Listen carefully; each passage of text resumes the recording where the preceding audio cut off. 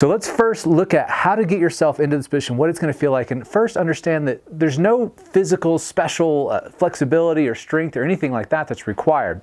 And what I want you to do first is with your trail arm, so if you're a right-handed golfer, your right arm, simply stand in a normal posture and then get your elbow pit facing straight away from you and turn your palm so that it's also facing straight away from you.